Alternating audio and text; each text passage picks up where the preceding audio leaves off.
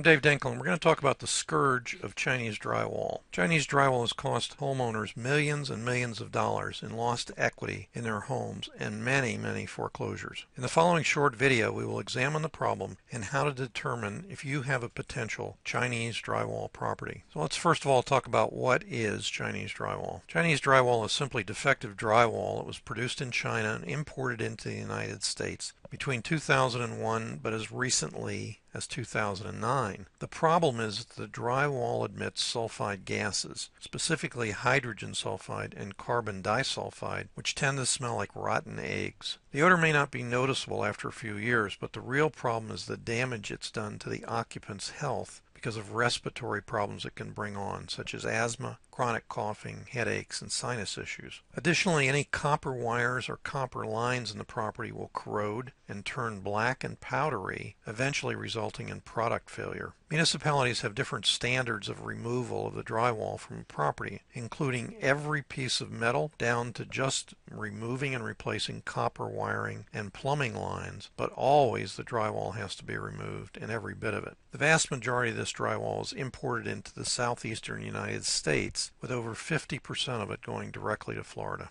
So what do you do about Chinese drywall? Unfortunately, the only real solution is to remove all Chinese drywall from your home and replace it with good drywall. Remember that drywall is easily crumbled or pulverized, so it could be risky for you to try and remove it yourself. Unlike airborne hazardous materials like lead-based paint and asbestos, phosphogypsum-based drywall cannot be sealed with a coat of paint. So removal and replacement is not the real question. That's a given. In the following video we will visit an actual work site where the contractor is in the very initial stages of starting the reconstruction of a Chinese drywall townhouse. If you're in a property that's been rehabbed or built since 2001 and you're in the southeastern United States and you smell any odor in the house that smells anything near like rotten eggs, even if you don't smell anything, you have a raspy throat or your eyes water, what you need to do is take the steps to check yourself to see if in fact there's Chinese drywall in the property. In the video you'll see the quickest ways to do that. Today what we're looking at is a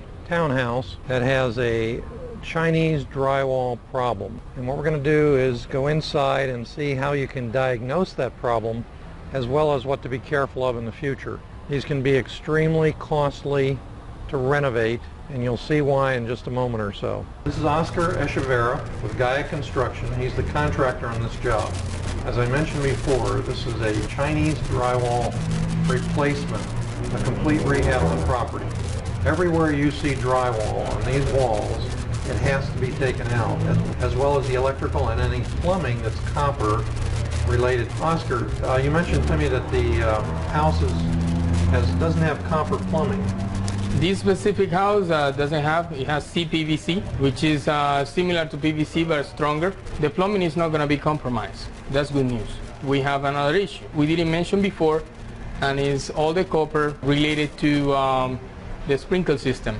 Yeah. Right now we shut it off, and you'll see the heads, how corroded they are. So let's take a walk through. I went down to the uh, electrical junction box. You want to look at that again? Yeah, let's take a look at it right away. Okay, so we're in the garage right now, and this is uh, the electrical breaker panel. And as you can see, if you take a closer look at the difference in between copper that has not been completely compromised and copper that is completely black, that is being exposed to the sulfur gases, the corrosion on it. The danger of having electrical wiring corroded is essentially a failure of the system. That's what is not acceptable to do the remediation and leave the wiring the way it is. Because the wiring right now is completely compromised. And since these gases will travel inside God knows where and I'm gonna show you later on a couple of um, switches that we have opened the effect that the gases are having which is essentially the same effect that is having on this. So let's take a look at it. Here for example Look how black it is. Well, it's completely this is. Yeah, yeah. this is that the ground. copper color. That's a ground wire. Correct. Even this. Uh, There's no insulation on that. No insulation on that. And wherever we have insulation, even the ones that are insulation are corroded as well. So how soon until these start failing? Pretty soon. What happens is it increases the resistance on the um, wire, and then the wire can heat up and eventually can start on fire. Correct. All right, what we're gonna look at is the effects of the sulfur gases on the fire sprinkler system. This is a cap that we have recently removed. As you can see, you can see the color, completely black, Oh, yeah. corroded, gone. And this Used is what you cap, yeah, what the cap looks like. This is bronze, but Oh. you see the effect on it. This is the kitchen area. Now remember, cabinetry and everything is new. Uh, How old is this condo? A few years? 2006. 2006. Seven years. It's about seven years old, but it's in great shape, Yeah. except for the fact that you're choking and gagging while you're in here breathing the fumes. Yeah. And how people lived in here this long, I guess you get used to it, but that's the pantry over there. You're going to try and save as much of the cabinetry as you can. That's correct. The way we're gonna do this is the floor is gonna be completely protected. We wanna save it. There is actually no reason to replace the tile floor. All the cabinetry is gonna be removed, protected. All the countertops removed and protected, and they're gonna be reinstalled. Everything that is steel will remain the same way because the sulfur does not have the same effect on steel, the effect that it's having on the copper. I wanna show you also the coil inside oh, yeah. the air handler. Yeah, As long as you still have air conditioning coils in the home, they haven't been taken out, this is the way to tell. Those are copper coils, and they look like they're just plain old-fashioned black. Yep. So everything in there is black. So this whole air handler unit is gone. Correct. If you look carefully in here, that's aluminum. The fins are aluminum, and you can see that they haven't been compromised, but the copper has been, and that's what's that's what has to be taken care of, unfortunately.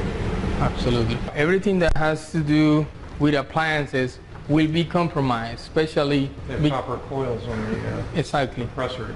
for the same reason. But I definitely can tell you that the copper connections on the electrical are compromised. All of the appliances are going to be replaced. We're not saving them. Same issue with every single piece of lighting equipment has to be removed and disposed with copper inside. Here's another socket. Another socket, and uh, you can look at it and you can tell how corroded it is. Now, that ground wire is always going to be copper. You can see that it's black. Make sure that you do research when you're gonna buy a house with a Chinese drywall or defective Chinese drywall. Defective Chinese drywall usually will look rather gray than white. Instead of bright white, Bright white, gypsum, it's a gray color, more Gray like cement. color, and rarely will have a label. Usually does not have a label. So as you can see, whatever piece that we move, we won't find any label behind it. You know, the thing about it, when this contractor or developer built this little complex of townhouses, somebody came along and said, I have a great deal on drywall for you, and if he saved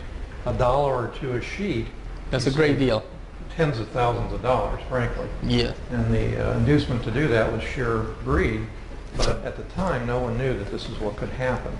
Now, it's important also to say that the aluminum is not compromised. We're focusing more than anything on replacing copper than replacing any other metal in the house. The additional cost to do the drywall remediation, and as you can see, are related to having to remove all the trim from the house in order to access every single piece of drywall. We have to remove the doors, we have to remove the trim, baseboard, to the fact that you have to change all the drywall, you have to remove everything. So we essentially we're doing a new house. You know the framing and maybe some pieces of insulation. Here's This is another example. sample. No labels anywhere, Now, so this is what every wall in the house is going to look like. Yep, exactly. We will try to save some of this, but most likely it's just gonna rip off the same way that is yeah. happening right now. So that's the vapor barrier. So you do everything up to code and you do it right so they don't come back later and make you do it all over again. Exactly.